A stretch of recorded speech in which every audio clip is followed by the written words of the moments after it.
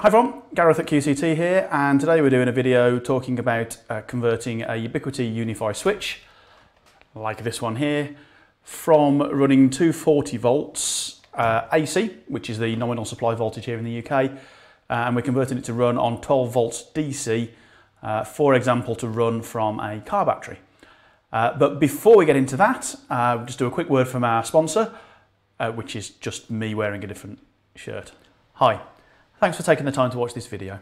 Quietly Confident Technology Limited is a managed services provider and IT consultancy based in Staffordshire in the United Kingdom. We work with companies large and small to make the most of their IT and help drive businesses forward using technology. If you'd like to talk to us about any of the subjects we talk about on the YouTube channel, or if you'd just like to talk to us about how we can help your company, head to our website at www.qctech.co.uk where you'll find a contact us form with details of how to get in touch. Now back to the content. Thanks. Hey, welcome back. Uh, before I get too far into this, I just wanted to do a quick disclaimer that I recorded quite a bit of this video a few days ago, uh, but for some reason the device that I was recording on, um, the audio was terrible, the lip sync seemed to be miles out, the uh, frame rate on the videos was, was bad. Um, I think I've got a failing hard drive, but I'm, I'm not really sure. So uh, some of these bits of video are going to be me uh, doing this now. Some is going to be from a few days ago. I may well overdub the audio because if the video kind of looks okay, but the but the audio's terrible, I might just overdub that. Um, but yeah, so you might see a few uh, a few transitions in this, uh, and me uh, wearing this top one time, and then all of a sudden wearing a white shirt. Um, that's why. So the backstory to this job um, is that a couple of weeks into lockdown, um, I received a phone call from a customer of ours, their residential care home, and uh, about half of their wireless network had gone down. Now they're a new customer, so I haven't had chance to map out the network, work out what, you know where everything is and how everything's plumbed in. Um, but it became clear that around about 50% of the site was was down, they have two switch cabinets, so uh, I was kind of guessing that maybe it was everything that was going back to one of those switch cabs that was the issue. Um, because we were in lockdown, the care home had banned all visitors, so it was only staff allowed on site. Um, so obviously that meant that their residents were unable to have visits from their family.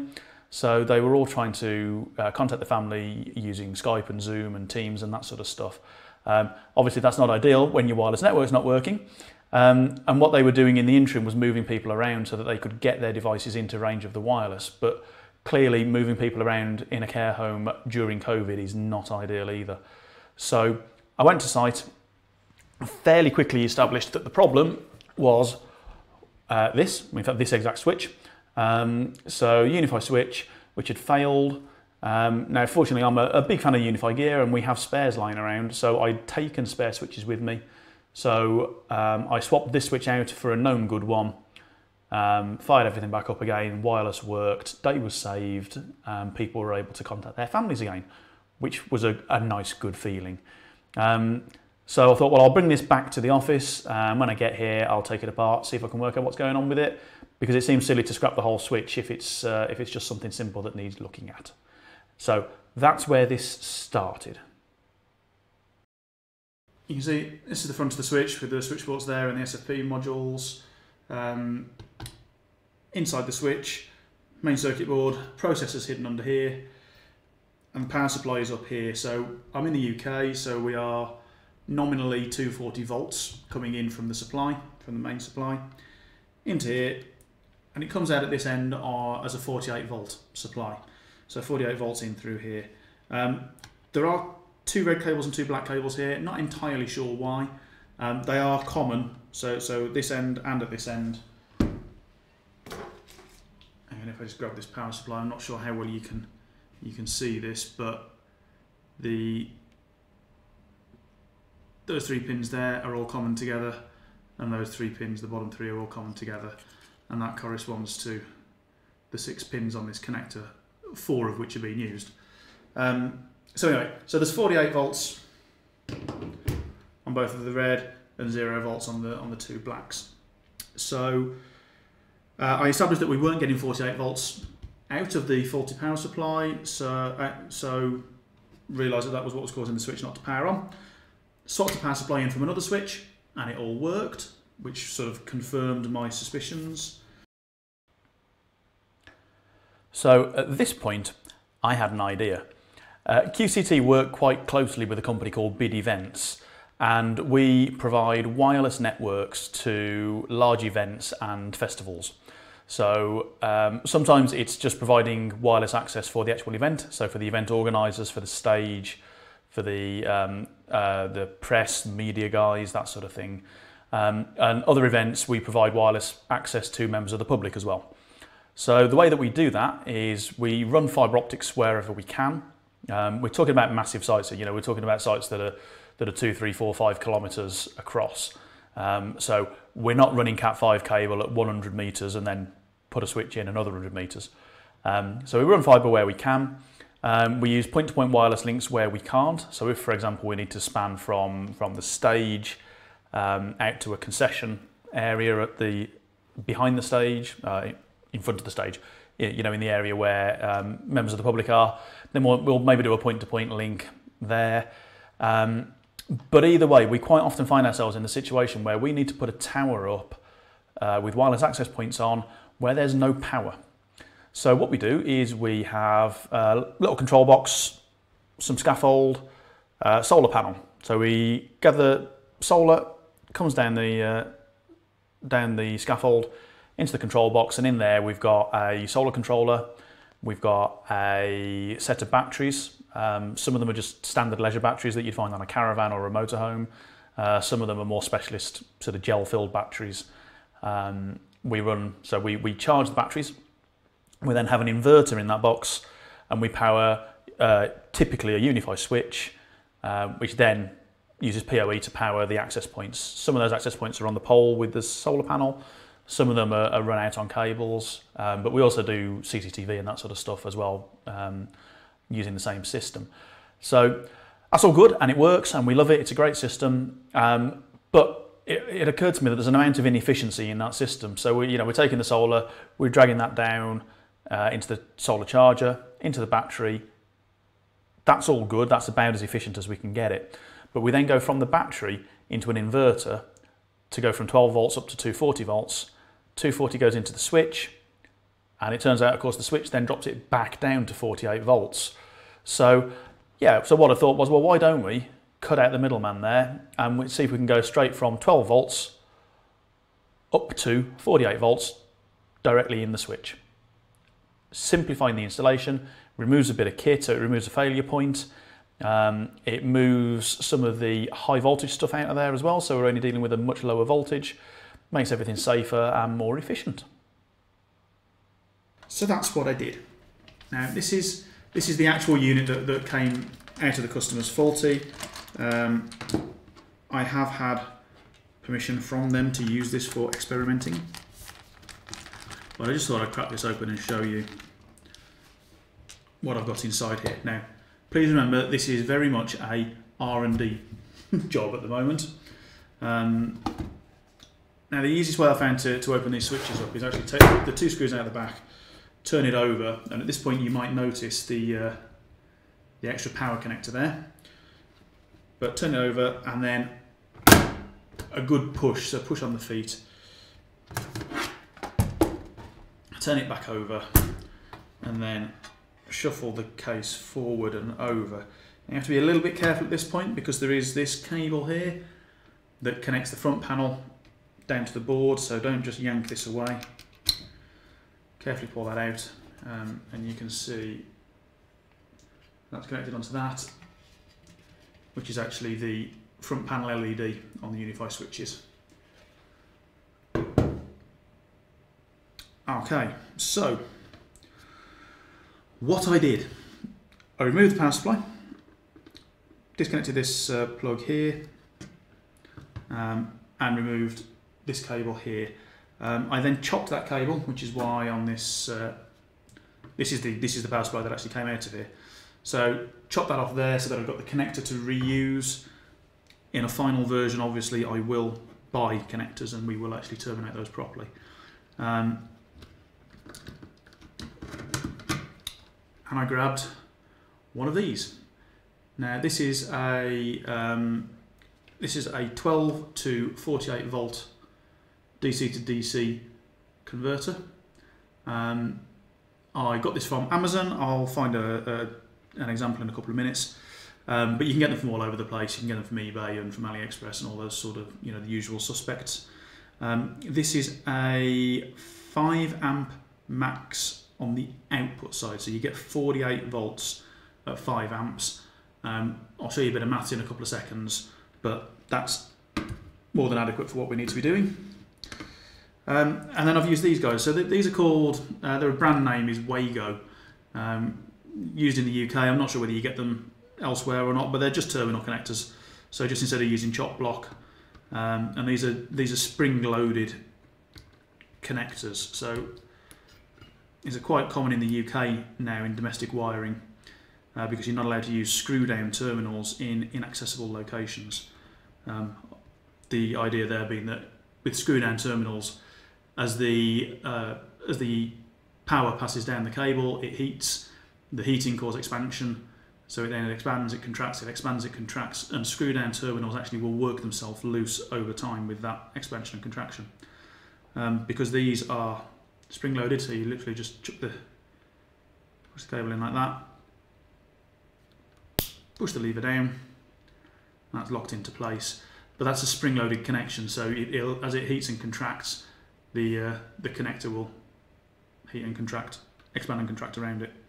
So anyway, three gangs, one, three gang ones of these, so that we've still got both of these cables in. We've just got the one supply cable, so the positive and the negative from the transformer. Um, I then also grabbed a pack of these.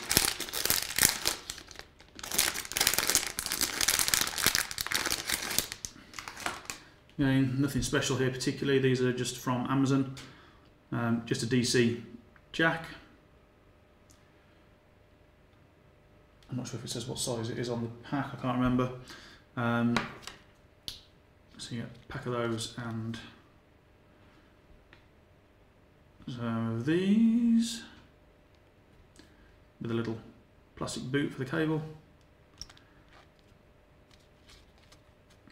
And they come with nuts and nuts and washers and things. So uh, 11 mil hole, I believe that was through the side of the case there. Tighten that up into there. Another couple of Wagos. these are just the two-way ones. Again, this is temporary. What I will probably do in a more permanent install is actually directly solder these straight into the uh, straight into the connector there. So remove an entire link. Um, and that's about it. So there's a couple of just quick observations. So we'll, we'll look at the current ratings in a second. Um, I did notice, and I don't know how well you can you can see this on here, but there's a there's an earth pin just there. And what I found is with this particular size connector, if you uh, push it up against the PCB on that side and then slide it up, that kind of holds itself in nicely. Again, for production, we'll work out a slightly better fixing mechanism than that. Um, but it is quite a tall heatsink on it, so I've not got much room, but we'll work something out. So I'll chuck the cover back on here. Remember to reconnect the front panel. Um, and then, and if you can just about see in here, so there's a little lip here, so you have to move this out far enough that way that the little lip will clip under. And there's also there's a keyed hole here. You have to make sure that you hit the, the, the, wider section of that onto this little nub in here. There's one on this side as well. You're also fighting around the top of the heatsink. Can be a bit of a fiddle sometimes, but I think that's back in. Front looks alright. Back looks alright. So I'll just throw these two screws back in.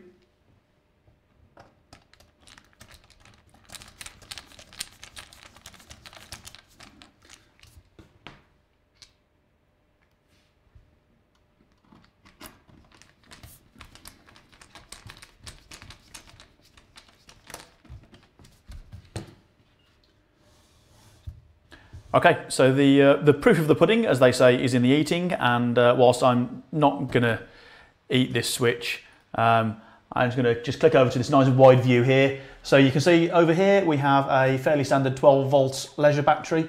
So it's a leisure battery, not a standard car battery. Um, not designed for cranking the engine over, but it is designed for longer draw uh, and higher discharge.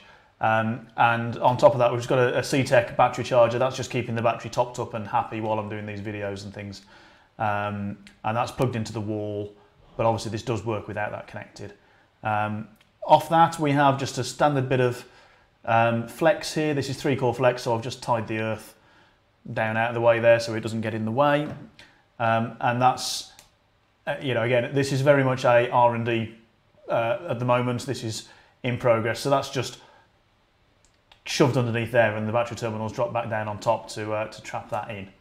Um, so, yep, that's coming down to this length of cable here. And on the end of this, if you look down the, uh, the bottom corner there, that's the, the male end of the connector that we've got on the, uh, on the back of the switch here um, with a bit of heat shrink on it because this cable is far, far, far too big for, the, for this connector. So there we have all the cable there. Um, if you have a look uh, on, on that shot just down there at the, uh, at the power light here, chuck that in the back of there, give it a few seconds, and on comes the light. Now this isn't currently adopted into anything, so it's not going to power on and go blue like all good UniFi gear should, um, but it is going to uh, it is going to power up. So that's all good. Okay, so just a quick sum up then. Um, so what we've done is we've taken a uh, broken UniFi switch, or a UniFi switch with a broken power supply is probably a uh, better way of putting that. Um, We've added a 12 volt power supply, um, connected up to a battery, and we have now a booted and happy UniFi switch running on 12 volts. So the next step really is going to be just to make this look a little bit more professional. Um, so I've already started making up some, some wiring harnesses. So we've got some, some ring crimps there that will go onto the battery terminals with um, this is this is like a mini Anderson connector. I can't remember what these are actually called, but they're uh, yeah similar to an Anderson connector, but it's a smaller version. So we're going to make up a few of those so that this can connect in a much much safer manner. Um, I also want to do some current monitoring, so uh, I've got another set of videos that I'm doing sort of at the same time as this. Uh, we've got one of these, which is uh, an INA 311, uh, sorry 3221 board. Um, so you run, uh, this runs on I2C, so you can connect this up to an Arduino or a Raspberry Pi or something like that to monitor the current usage on three separate things. Uh, this particular board, it has to be three things from the same supply, which is a bit of a pain, but um, that's fine. So we've got supply in, and then you put the load across these connectors. So I'm to make some Y connectors up. That's another project that I'm sort of doing uh, yeah, at the same time as this one. Um, so we'll measure all the current draws just to make sure that everything is safe. Uh, obviously this, this connector here, as well as having those on, also has a fuse carrier on it. So we'll fuse everything appropriately uh, to make sure it's all safe. Um, and then we'll, um, hopefully at some point, we'll be able to have outdoor events again where we actually need to use some of this kit. Um, and then we'll get it out and get it tested once, uh, yeah, get it tested in the field. So thank you for watching the video. Uh, I hope you found it interesting. Uh, it'd be great if you could uh, like the video if you have enjoyed it, because that helps Google realize that it's an all right video. Um, and if you're enjoying my stuff generally, then please subscribe to the channel. That would be great. Uh, thanks very much, and I'll see you again soon.